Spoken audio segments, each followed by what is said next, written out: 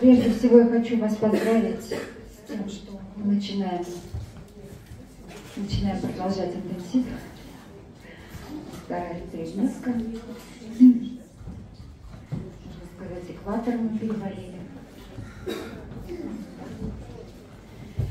И это такое место, когда уже наше пространство наполнено разным. Разные чувства, разные попытки, может быть, разные неудачи, разные удачи маленькие. И разные вопросы поднимаются в группах. Вот. И когда мы с коллегами думали э, об этом, удалось как-то выделить действительно несколько вопросов, которые, наверное, общие оказались для всего интенсива. И я позволю себе их э, так, обобщенно произнести, чтобы было понятно, от чего мы отталкиваемся.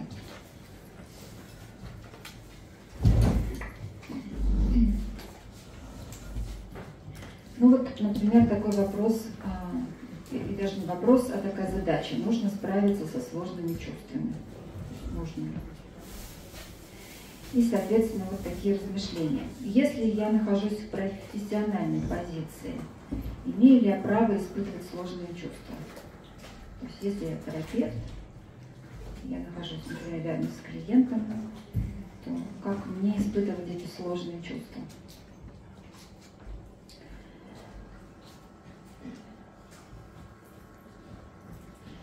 И э, могу ли я, например, тогда уставать, или болеть, или злиться? Ну, э, уместен и э, вопрос наоборот. Если я устаю, болею, злюсь, или если мне стыдно, или что-то вот такое, да, то имею ли я право называться терапевтом?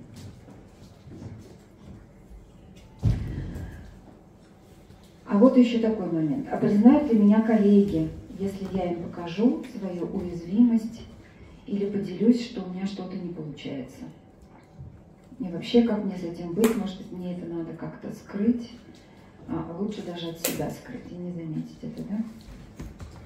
И вот на фоне всего этого есть какие-то фантазии, а, что существуют где-то там успешные люди, успешные скажем так, психотерапевты, они, э, очевидно, успешные, энергичные, они очень эффективные.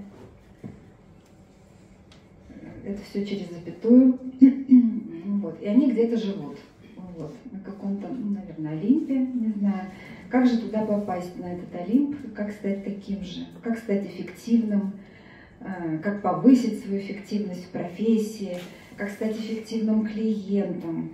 Э, как стать эффективным терапевтом, как стать эффективным супервизором. Ну, здесь, конечно, возникает где-то тема стыда, понятно. И вопрос тогда э, приобретает еще такой оттенок, как эффективно справиться со стыдом. Как так эффективно с ним справиться, чтобы стыда не было, э, ну, может быть, чтобы от него убежать, вот, чтобы он нас не догнал. В общем, мы подумали и решили, что сегодняшняя лекция э, была бы уместна, если бы мы ее посвятили теме нарциссизма. Таким охом и ахом я чувствую, что мы, видимо, попали в точку. Вот. Потому что, ой, такая сложная, в общем-то, тема, емкая. И мы с вами, как сказать корректно. Поскольку мы с вами все нарциссичные люди, и мы, и вы, и, конечно же, э, такие люди очень много читают про нарциссизм, правда? Я уверена, что вы столько всего прочитали про это, знаете и так далее. И, в общем, нет задачи прочитать эффективную лекцию, да, но, может быть, есть задача как-то поговорить про нас и попробовать вот что-то немножко открыть, может быть, шире, а в какой-то момент, может быть, даже сузиться, потому что мне правда хотелось бы говорить вот о нас, о нашей профессии и о нас в профессии, потому что о себе в профессии, потому что, мне кажется, это как-то здесь все про это. Ну, во-первых, наверное, нужно немножко как-то э, сказать, да, если я буду говорить о нарциссизме, о чем я буду говорить, потому что разных определений много, и я не собираюсь его как-то давать. Но мне хотелось бы говорить здесь об этом в контексте самоуважения. Вот. Потому что, как бы мы это ни поворачивали, мы все равно возвращаемся к этому пониманию, что мы все с вами люди, и ну, мы нуждаемся в том, чтобы уважать себя. Вот. Если у нас есть самоуважение, то тогда нам ну, как-то удается в жизни жить, можно так сказать. Потому что а, ведь это распространяется на все сферы жизни, да, не только на профессиональную, на личную, на связи, на отношения, значит, нам, наверное, удается как-то быть в отношениях, а, любить, быть любимым, не знаю, получать удовольствие, чтобы нам что-то нравилось, и тем самым чувствовать вкус жизни. Да, вкус жизни там, где мы можем получить удовольствие. Вот. И при этом, конечно же, э, жизнь наша, она не такая простая. То есть она э, сложная. И э, эти сложности, они разного рода. Да? Это могут быть какие-то крупные неприятности, а это может быть что-то маленькое, что-то вот сейчас, в нашей ситуации. Например, опоздал на лекцию, а, стула как будто бы нет, и неловко там стоишь, и как будто бы вот что-то уже не так пошло чуть-чуть. Ну, то есть вот разные вещи. И поэтому э, у нас все время есть такая задача э, как-то э, справляться с этим, как-то это все регулировать, восстанавливать, приводить в какое-то э, такое состояние, чтобы мы могли продолжать жить. То есть э, в каком-то смысле нам приходится залечивать раны, большие и маленькие. Это приходится делать непрерывно. Вот. И от того, как мы эффективно и успешно, хочу себе позволить пошутить, ну, как нам удается, да, вот это все сбалансировать, от этого, в общем-то, какая-то наша удовлетворенность жизни, а, она у нас есть или, может быть, ее не хватает. Вот. И здесь еще есть одно слово, близкое к самоуважению, это другое слово, но оно близкое э, в контексте этого, это самооценка. Вот. Потому что, конечно же, все, что мы делаем, подвергнуто оценке. Оно подвергнуто и внешней оценке. Вот. Но, естественно, это подвергается и внутренней нашей, нашей собственной оценке. То есть э, в некотором смысле это всегда ретрефлексия, потому что это что-то, что направлено на себя возвратным образом. Так же, как самоуважение. В этом тоже есть такой ретрофлексивный компонент, что не есть плохо, конечно же. Вот. И можно сказать, что э, мы находимся в таком при выстраивании этого самоуважения, да, мы как бы выстраиваемся, настраиваемся, с одной стороны, между э, привязанностью, э, между тем, чтобы быть с другим, сохранить нашу связь, быть в этой связи, и э, между нашей способностью сопротивляться ранам, э, которые нам нужно лечить и залечивать. Вот. И это, конечно, такой очень важный такой, ну, как бы два каких-то, можно сказать, э, даже не то чтобы полюса, но вот ориентира, относительно которых мы движемся, и мы как-то здесь можем смещаться да, в этом пространстве ближе, например, в сторону все-таки связи, какой-то надежной связи, качественной связи, вот. или в сторону какой-то хрупкости, и тогда что-то у нас здесь идет, может быть, по-другому.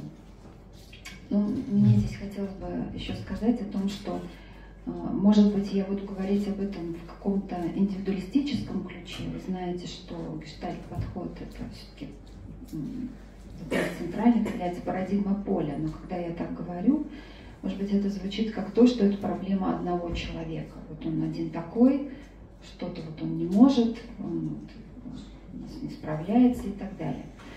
И мне сразу хочется это поправить и сказать, что это, конечно, не так, потому что все, что происходит, оно происходит ситуации, во-первых, об этом уже говорили, и оно происходит в определенной среде, то есть рядом с другим. И вот эта способность регулировать или дезрегуляция, она а, сильно зависит от того, какова эта среда. И потому что среда всегда в этом участвует опять же, есть какая-то маленькая среда, это кто-то, кто совсем сейчас рядом со мной находится, но всегда есть среда, так сказать, большая, и э, масштабы этой среды, они ну, уже дальше где-то там теряются. Вот. И вот самоуважение как что-то сильно ценное, как что-то хорошее, как что-то, что вам удалось в этой жизни построить, в этом всегда присутствуют следы вашей хорошей среды. То есть э, это означает, что там есть та среда, которая сделала это возможным. И здесь мы, конечно, снова вспоминаем Винникота про его достаточно хорошую мать, потому что не бывает идеальной среды, но бывает какая-то среда, которая что-то может или что-то старается, или старается вам что-то вернуть. Мне хотелось бы здесь выделить какие-то, может быть, характеристики э, в контексте нашей темы э, такой, наверное, среды, которая, в принципе, достаточно хорошая и могла бы как-то помогать вот в этом залечивании или в этом настраивании. И, может быть, это будет еще адресовано потом э, к работе терапевта. Так что тоже это важно. Ну, во-первых, это, конечно, среда, которая сама способна уважать. Это очень, на самом деле, много, потому что если кто-то вас уважает, но в разных ситуациях, неважно, что там с вами происходит, ошибаетесь вы намеренно, там специально, еще что-то, да, но э, если среда способна уважать вас, ваш процесс, ваш симптом, вашу жалобу, вот, вас самого да, во всем этом. Это, конечно, ну, можно сказать, фундаментально важно.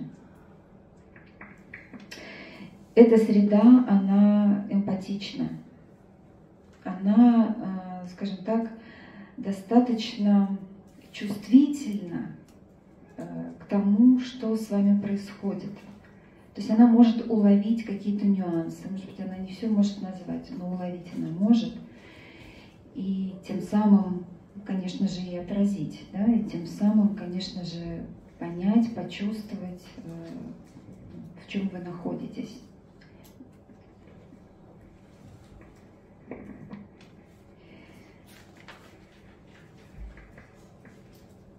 Я думаю, что это среда, которая способна смягчить удар.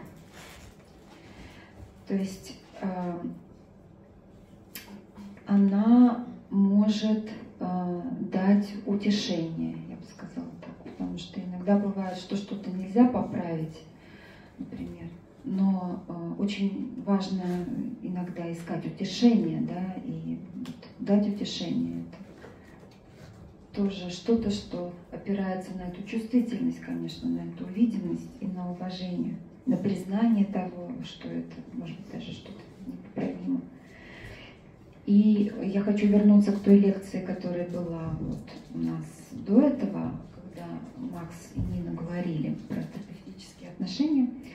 И там Нина говорила про доступность терапевта и способность его к экспрессии. Вот.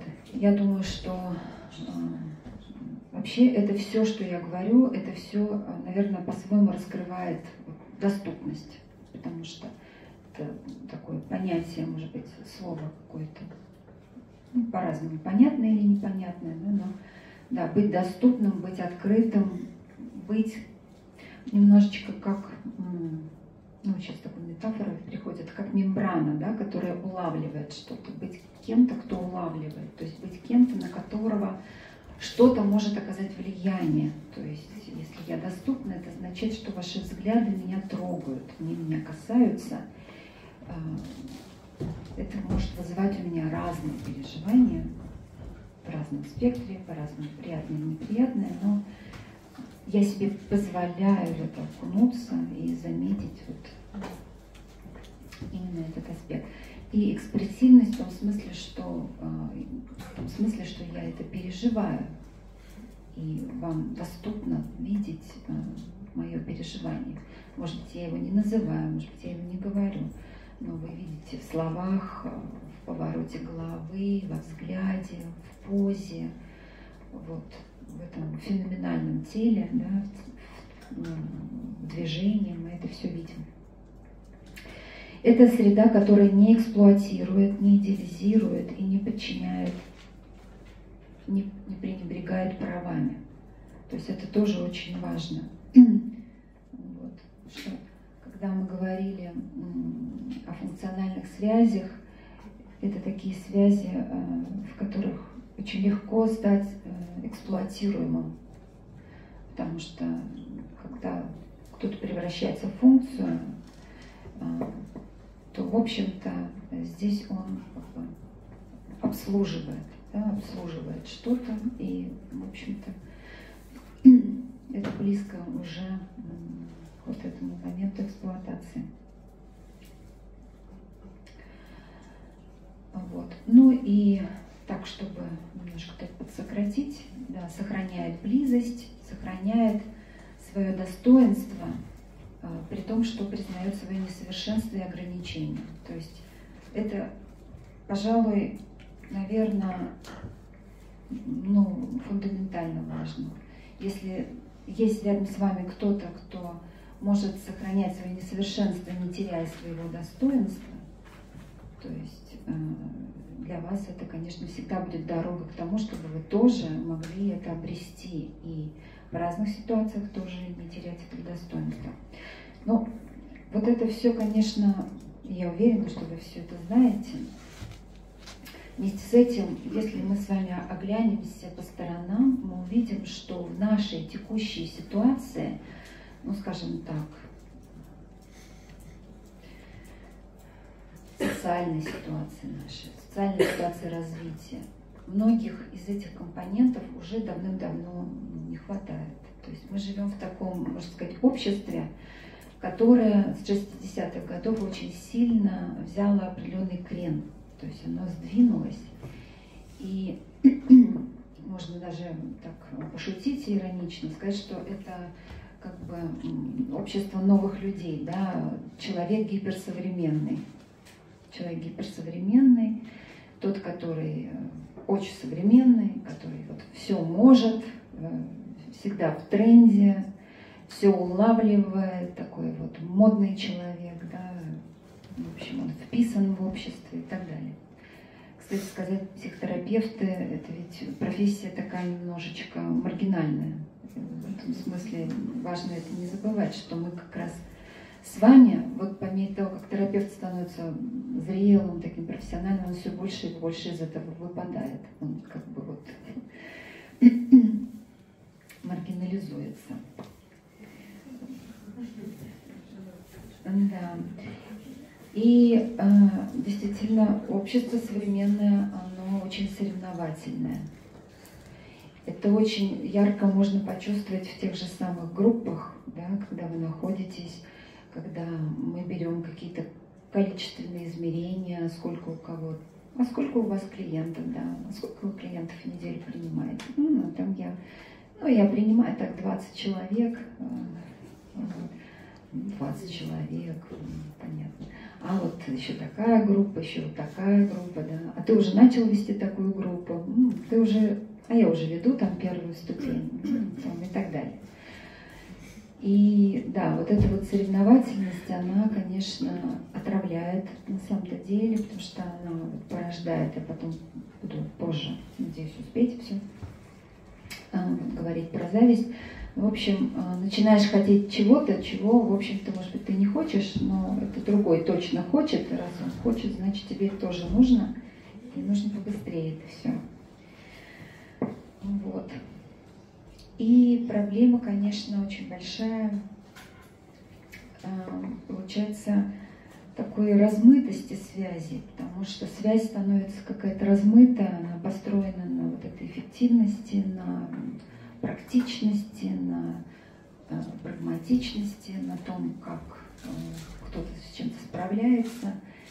И какие-то другие аспекты переживаний сюда уже не попадают, не проясняются. В общем, связь становится хрупкой, и, в общем-то, это очень, конечно, сложно. Вот. Ну и, конечно же, это общество, где нужно заботиться об имидже своем, потому что, боже, у вас нет страницы на Фейсбуке, а Фейсбук уже нельзя, значит, надо какое-то другое место. А вы, допустим, запретили, а где теперь пиариться, да, а вот это запретили тоже. Вот. А как перенести все свои записи из Инстаграма в какую-то новую, там, допустим, сеть? Это все, конечно, может быть, мелкие вещи, вот, но я, я позволю себе высказать свое личное сомнение сейчас, э, когда я знаю, что некоторые люди работают как блогеры, и когда это через дефис превращается еще в психотерапию, я каждый раз немножечко, лично я, я немного удивляюсь, потому что я, правда, думаю о том, что вот как терапевт, являюсь ли я достаточно, чтобы мне быть доступной с моими клиентами, должна ли я быть такой открытой, допустим, в соцсетях или нет. Это ведь очень важный вопрос. Я думаю, вы решаете это как-то про себя. Вот. И таким образом все это пространство такое, оно нас на самом деле, мне кажется, очень модно быть сейчас психотерапевтом.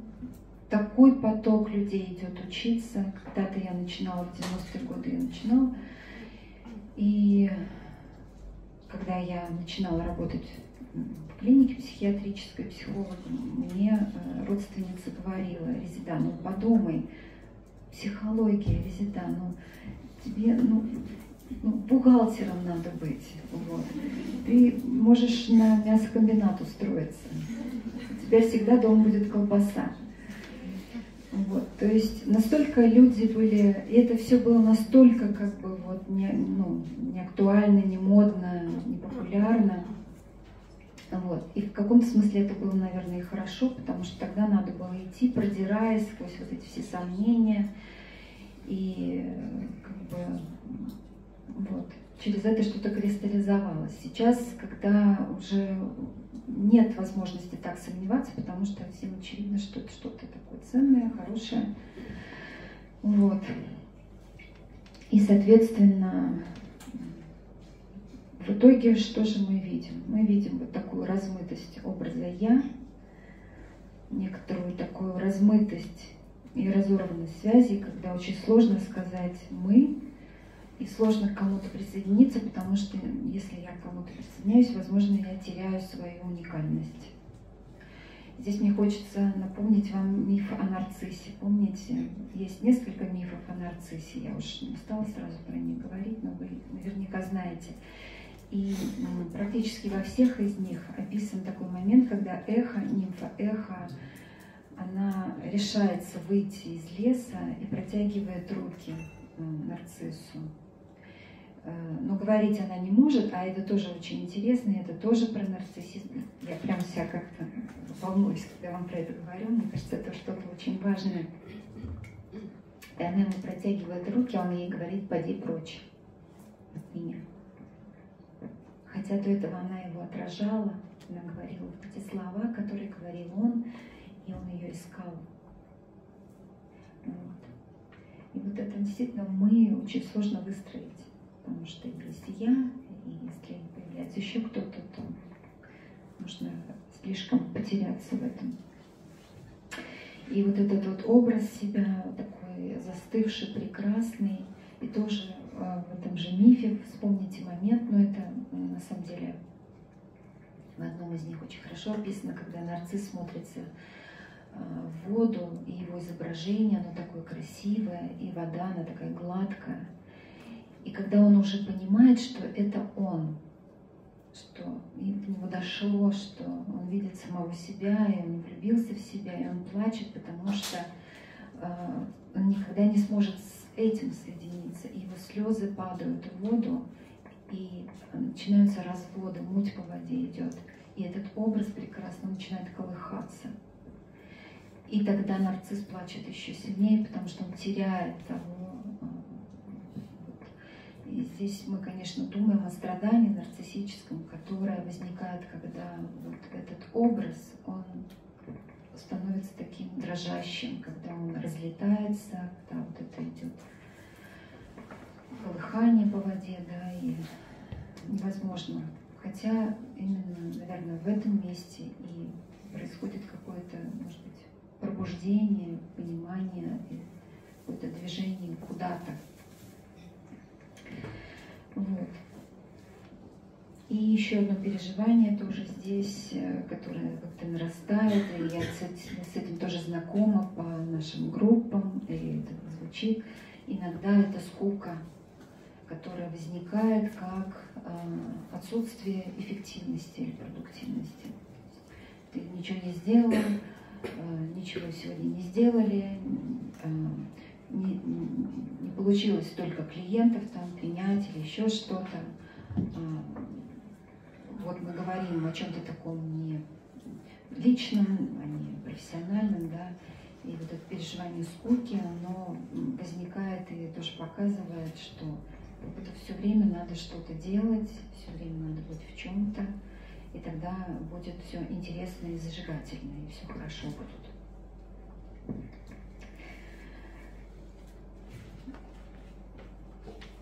И вот такой тоже еще момент, тоже из групп, когда, и, возможно, вы это знаете из других моментов тоже, что очень сложно дать обратную связь. Вот обратную связь нужно давать на каких-то кончиках пальцев, потому что если чуть-чуть вот похвалить, это может ранить. А, если чуть-чуть будет звучать какая-то критика, это тоже может ранить. У нас как бы вот такой момент, что между Сциллой и Харидой. И в то же время есть большая нужда в этой обратной связи. В то же время, если вот в этой обратной связи звучит хоть э, элемент какой-то оценки, да, положительный или отрицательный, это действительно может ранить. Вот, сейчас я посмотрю, сколько у нас времени. 28. 28 минут. Да, наверное, здесь я хотела бы вам предложить, может быть, вспомнить какой-то момент на интенсиве. Поскольку мы говорим с вами о хрупкости, и я хочу еще сказать, что это не что-то, что нам не свойственно, наоборот, мы, нам всем это, это свойственно, да? При том, что это свойственно всем, и вспомните опять же в этом мифе, когда нарцисс отталкивает эхо, оно убегает в лес, но оно убегает в лес от чего? от отвержения, и она убегает еще в лес от стыда, ведь она открылась, и невозможно быть, да, то есть это как бы рана одного человека, рядом рана другого человека, то есть есть возможность ранить друг друга взаимно. Вот. Наверное, мне хотелось бы вам предложить, а, может быть, вспомнить какой-то момент вашей хрупкости на интенсиве. Был ли такой момент? когда вы испытывали э, хрупкость. Вам хотелось, чтобы ваше отражение, оно туда не попадали капли, чтобы оно не размывалось. Мне кажется, это очень важное переживание, важный момент. Если вы его уловите, вы можете заметить, как сейчас с этим переживанием вы сидите, как вы дышите, э, как вы принимаете это переживание в своей позе, э, как вы располагаетесь, и как вы себя сейчас поддерживаете, на что вы опираетесь. Держите ли вы себя руками, а так или так. Чувствуете ли вы какую-то опору? И я вам могу предложить заметить, как вы справились на этом интенсиве, когда угу. Что вам помогло? Кто вам помог? Что, кто был рядом с вами? Просто это заметить. Мне кажется, что я могу себе позволить предположить, что в том, что вы вспоминаете, наверняка очень много есть э, стыда. Вот. Потому что стыд это что-то центральное в этом, в этом И здесь мне хочется сказать, что, конечно, стыд э, бывает разный. Бывает, можно сказать, такой маленький стыд, да, который мы можем принять, который мы можем пережить, э, прожить и разделить с другим. Но, э, возможно, есть и какой-то, скажем так, большой стыд, который, как яд, что-то отравляет. И действительно, в переживании стыда э, мы скорее хотим исчезнуть, замереть, исчезнуть, упасть ниже плинтуса, как-то раствориться, стать невидимым, потому что в стыде, конечно, очень много видимости. Но в стыде э, есть еще всегда... На самом деле в стыде всегда есть другой, потому что только благодаря ему возникает этот стыд, и без этого другого этот стыд никак не возникнет. Вот. И я думаю о том, как мы можем действительно вместе принять этот стыд, как мы можем сделать этот стыд переживаемым, и э, разделить его. И, и я хочу сказать, что сколько не занимайся терапией, сколько не занимайся личной терапией, не обучайся, не совершенствуйся, всегда есть место стыда и неловкости. Я, например, чувствую себя очень уязвимой сейчас, когда я с вами тоже про это говорю, потому что ну, я тоже очень видима и как-то складывается моя речь, как-то я до вас дотягиваюсь, и, возможно, не дотягиваюсь, и что-то мне тоже удается, а может быть, что-то мне тоже не удается. И я понимаю, что мы все время тоже что-то оцениваем. Это невозможно избежать. То есть это с каждым будет происходить, со мной сейчас это происходит. И с вами это может происходить. То есть но единственное, что я могу вам здесь сказать, что, может быть, мы можем как-то в этом попытаться задержаться, побыть вместе, как-то разделить, понять, что я являюсь э, условием вашего стыда, может быть, а вы моего. Вот таким образом в это погружаемся. И мне еще хотелось бы, конечно, сказать по поводу таких чувств, которые, ну, скорее можно отнести, может быть, к какой-то защите от стыда, потому что э, там, где, там, где он не принят, там, где он не услышан, не увиден и не прожит, там могут быть разные системы, да,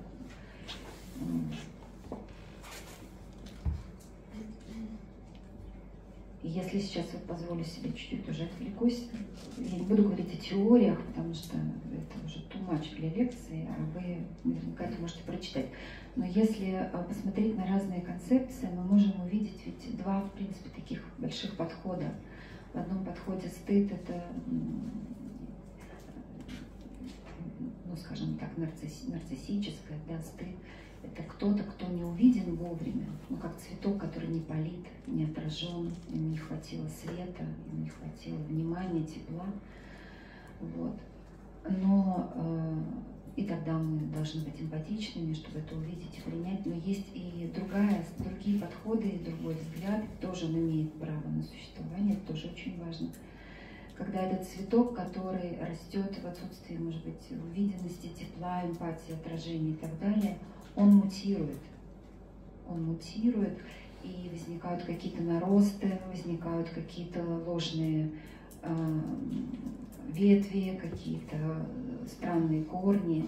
И тогда мы говорим с вами о каких-то таких э, явлениях, о которых вот я раньше говорила, да, ну, как грандиозность нарушение границ и так далее. Вот, поэтому, когда мы говорим о системах защиты от стыда, то, конечно, нужны какие-то системы защиты, если этот стыд не принят и не, не, не пережит. Вот.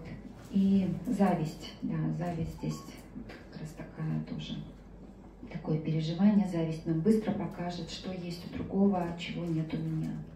Я уже говорила об этом в контексте терапевтического вот такого развития, а-ля, а развития, да, такого немножко искусственного через количество. Вот. Но я думаю, что зависть, как токсическая зависть, она всегда возникнет там, где я не знаю э, пути, как мне получить то, что я ищу. То есть это возникает только там, где я соблазнен и, можно сказать, отброшен. Это возникает только там, где есть очень жесткая застывшая иерархия. И я никогда никуда не приду. Э, я всегда буду кем-то, кто будет нуждаться в ком-то, кто мне что-то будет давать.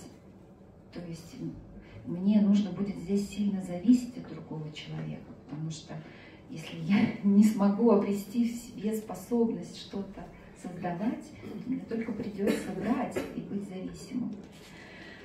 И тогда страшно быть и зависимым тоже.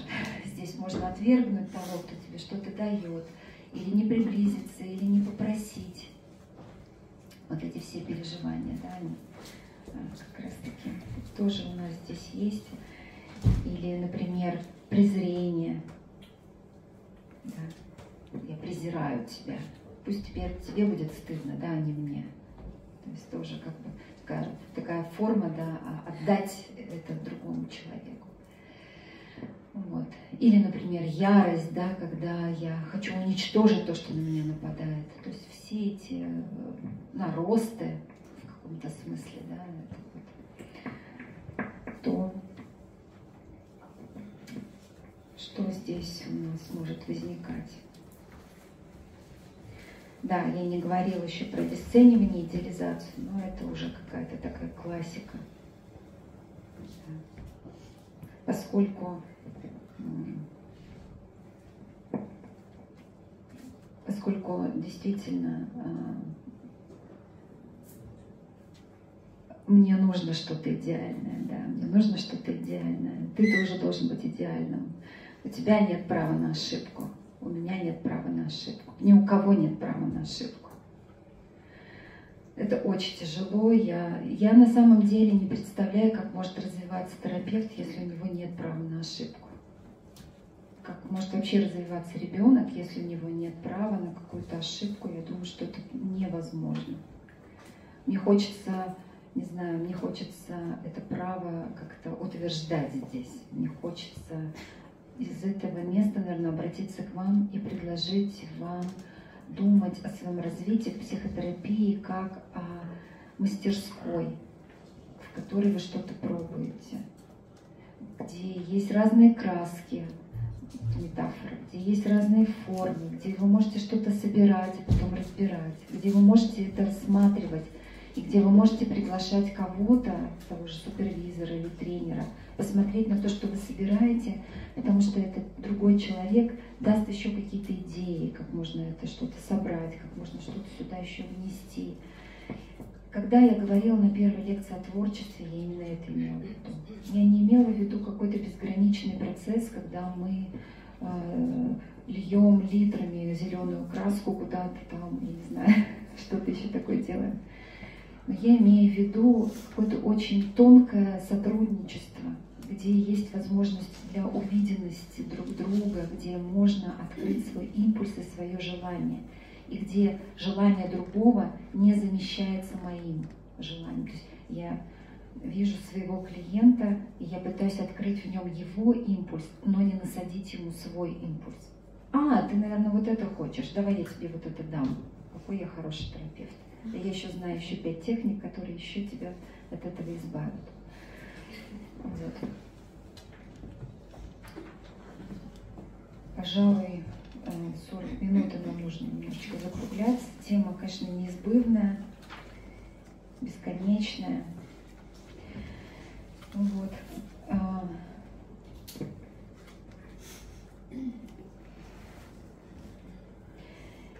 я Я думаю о том, что да, нам, терапевтам, и людям, и родителям, нам важно, действительно, я возвращаюсь снова к этому, а, не, не стремясь, стремясь к развитию, стремясь к тому, чтобы стать хорошим терапевтом, оставить место тому, что я все равно человек, я все равно уязвим. А, я могу страдать, я могу стареть, я могу дряхлеть, я могу забывать. Мне может быть неловко, у меня что-то не получается. Я могу быть вместе с другим, и я, так, и я при этом имею право на жизнь. То есть я имею право на жизнь. Это какие-то возможные вещи. Да? И еще мне хочется сказать, что я думаю, что настоящее развитие терапевта требует годы. И я не думаю, что можно за три года, за четыре года очень быстро скакнуть и где-то оказаться.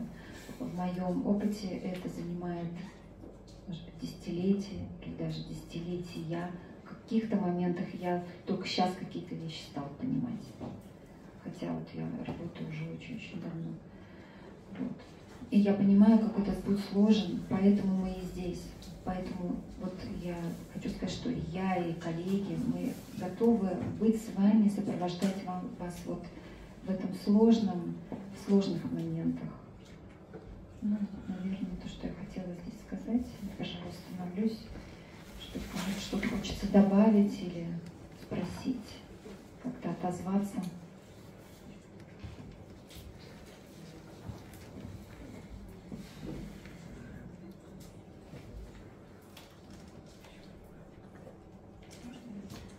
Да, пожалуйста.